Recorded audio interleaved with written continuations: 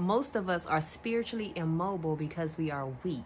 You have to strengthen your spiritual life so that your patience can grow. It all ties in together. Everything in this world is connected, okay? And when you don't feed the God in you, you starve.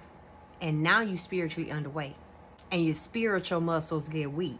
You still focusing on your physical strength and how well you can fight, but your spiritual strength is very weakened it's time to change priorities. It's time to get in the spiritual gym. Work on your prayer life, like how much time you spend talking to God, and not just talking to God, but also listening to God. You must transform your thoughts in order to renew your mind, right? Romans 12 and 2 tell us that we must transform our thoughts by renewing our mind. This is best performed when you speak over yourself early in the morning before anyone else can speak to you or get your attention, before the cell phone can even get your attention, and all throughout your day.